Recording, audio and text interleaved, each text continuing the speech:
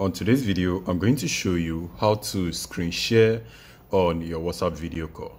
So let's dive into that. Um, i'm going to go ahead and open my whatsapp open the application and i'm going to call myself on a video call to this other device. So click on call. And i'm going to have to respond to that on this device by answering um, I just picked up the call.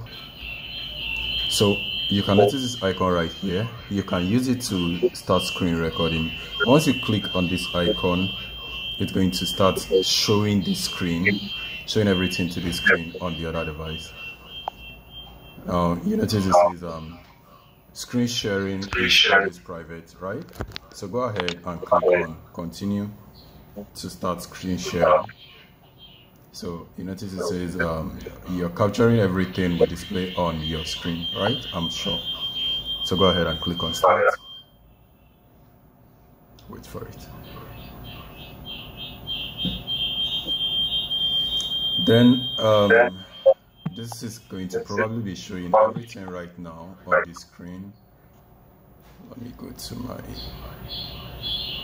I'm actually using a VMware, so you're going to be seeing everything right on the screen on the other device.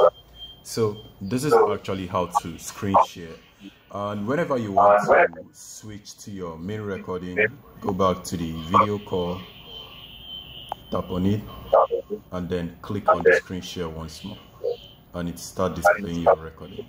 So guys, this is all I want to show you on today's video. If it's helpful, um, let me know and See you soon. Peace.